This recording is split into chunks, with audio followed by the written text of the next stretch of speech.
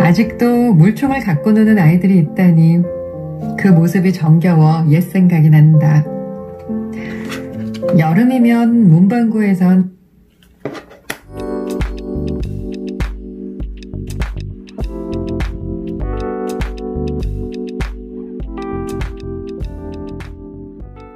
어서 오세요. 헤이파파입니다. 자, 오늘은 제가 이 미니 컴포넌트를 하나 들고 왔어요. 지금 엄청 오래된 모델이에요, 이게. 아, 몇 년도 제품이냐면 2003년도에 제조를 했네요. 지금 한 17년 정도 지나간 제품인데요. 모델명은 UX-H30이라고 검색하시면 또 나와요. 옛날, 아주 옛날. 제가 어, 이 제품을 피자 배달 알바 했던 돈으로 샀던 그 당시 한 12만원인가 주고 샀었던 기억이 나네요. 예. 참 오래 전 일이지만 그래도 어, 좋은 추억으로 간직하고 있습니다. 어, 지금 이걸 여러분들께 소개해 드릴 건 아니지만 기존에 쓰던 거를 왜 바꿨는지 여러분들한테 좀 보여드리려고 해요. 이걸 뭐 어떻게 부르는지는 정확히 모르겠어요. 저도 이쪽으로 해박한 사람이 아니라 요거는 이제 JVC 미니 컴포넌트 아니면 뭐 마이크로 컴포넌트 이런 식으로 어, 부르고 있었죠. 어, 리모컨도 이렇게 antique하니 지금 가지고 있습니다. 어, 이 제품을 아직까지도 지금 계속 사용을 해왔어요. 뒤에 단자에 AUX도 어, 활용이 가능해서 PC 같은 곳에 꽂아가지고 사용을 했었고요. 이건 다 아시겠지만 스피커, 스피커, 양쪽 스피커 그리고 요거가 또 이제 AM 안테나 어, 그런 식이고 요거 또 FM 안테나 어, 그리고 이제 어, 이거는 12V로 전원을 공급할 수 있게 해주는 거고 요거는 AC 220V 전원을 공급해 줄 수 있게 해주는 그런 어, 단자입니다. 전 저는 220V에 꽂아가지고 사용을 했었고요.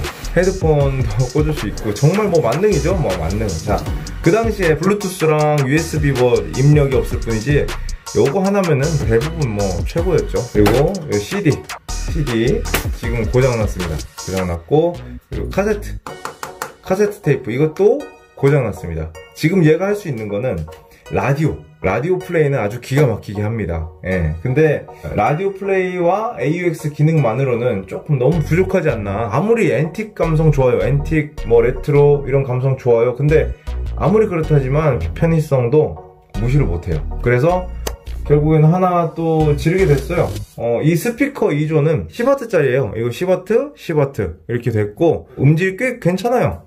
그 당시 스피커라 그런지 모르겠는데 어, 에이징이 잘 돼서 그럴 수도 있고 세월이 좀 많이 흐를수록 또 이제 소리가 좀 깊고 어, 진해진다고 하죠. 일단은 스피커가 큰 게 중요한 게 아닙니다, 여러분. 대부분 아파트에 생활을 하시잖아요. 가장 중요한 거는 어, 윗집, 옆집, 아랫집에 민폐 끼치지 않아야 된다는 겁니다. 아, 개인 주택이면 몰라. 옛날 우리 어렸을 때는 주택에 많이 살았잖아요. 그러니까 이거보다 훨씬 큰 그런 제품들을 가정집에서 사용을 할 수가 있었어요. 진짜 보시면 그 아남, 인켈 그런 진짜 엄청 큰 전축 그런 세트를 어, 집에는 다 구비를 하고 있었죠. 그러니까 그런 주택 같은 경우에는 문제가 없어요. 근데 아파트에선 이런 10W 이상 스피커를 가지고 사용을 한다? 그럼 자기 성능을 100% 활용도 못할 뿐더러 남들에게 또 민폐입니다. 그리고 자기 마음도 불편해요. 진짜 이 방의 벽에 엄청난 방음, 방 바닥 위, 뭐 아래 방음 작업을 완전히 다 하고 뭐 듣는 건 잘 모르겠어요. 그 정도 하면 할 수 있겠지만 지금 우리 사는 이 아파트에서는 10W짜리 스피커 두 개면 정말 충분하다고 생각하는 바입니다. 자, 3000% 얘기가 좀 많이 빠졌는데 그래서 어, 요 제품은 일단은 좀 넣어두려고 해요.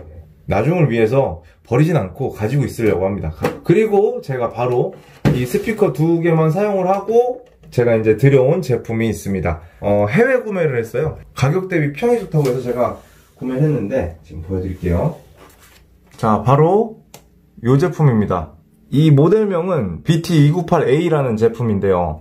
어, 해외 구매를 했고 배송하는 데는 한 일주일 넘게 걸렸어요. 어, 2만원대 가격 치고는 정말 괜찮은 기능들을 가지고 있더라고요. 평도 너무 좋았어요. 일단은 라디오 기능도 있고요. 블루투스 기능도 있고 mp3도 인입이 되고 메모리 카드도 인입이 되고 마이크도 인입이 됩니다.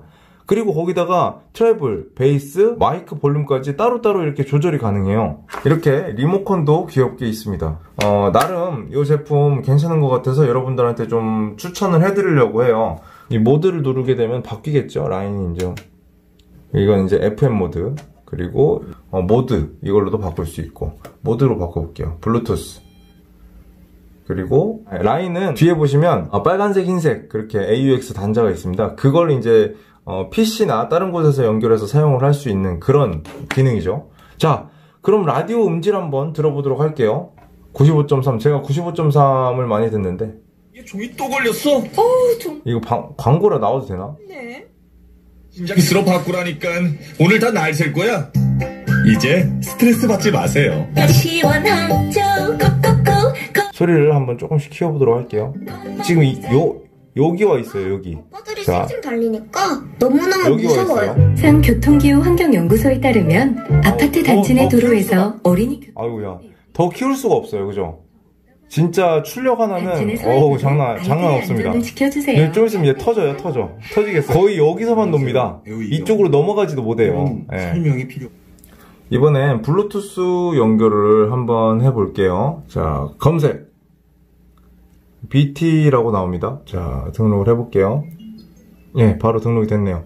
자, 그럼 제 컨텐츠를 한번 들어가서.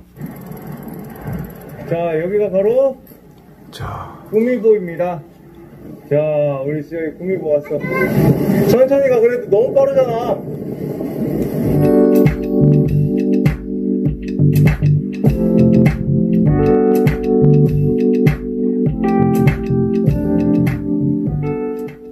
안녕하십니까 헬선입니다.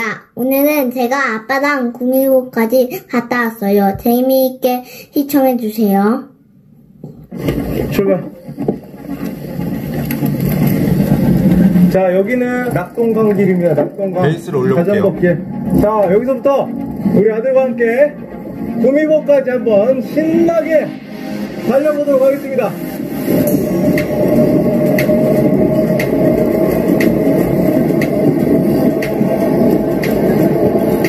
어우, 너무, 너무 커가지고 베이스 좀 줄일게요. 트랩을 올려보도록 하겠습니다.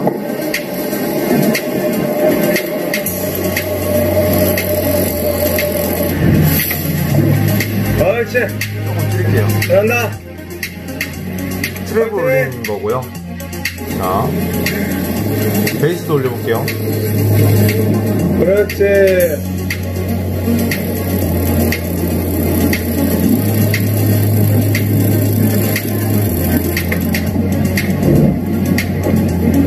머리 조심.